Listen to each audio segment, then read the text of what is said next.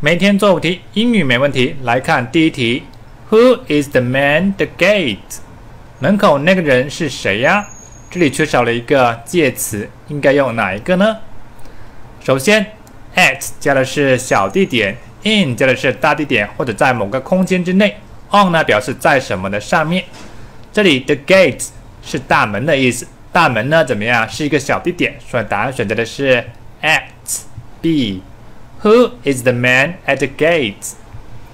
第二题，I saw her the library。我在图书馆看见她。图书馆前面应该用哪一个介词呢？我们在前面提到过 at 加小地点，可是这里没有 at，那应该用哪一个呢？应该用 in。in 除了加大地点之外，它还可以加在某个空间之内。图书馆呢，就像一个盒子一样，对吧？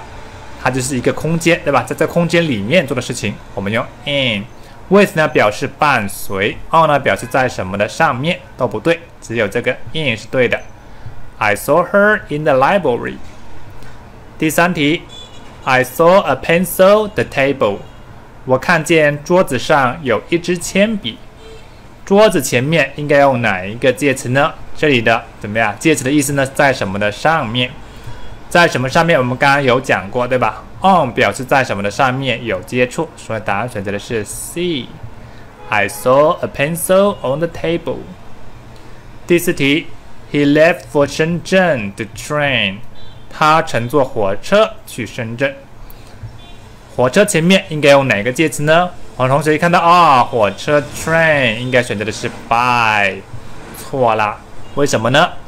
因为 by train 中间没有这个定冠词啊，有这个定冠词的时候呢，应该用 on。为什么用 on 呢？哎，像在地面上直立行走这种，我们会用到 on。如果你不能够站起来在里面走动的话，我们就用 in。所以答案选择的是 B。He left for Shenzhen on the train。第五题，Turn left the traffic lights。在红绿灯处向左转，红绿灯前面应该用哪一个介词呢？欢迎同学们在评论区里面留下你的答案哦！点赞关注爸爸老师英语一级棒。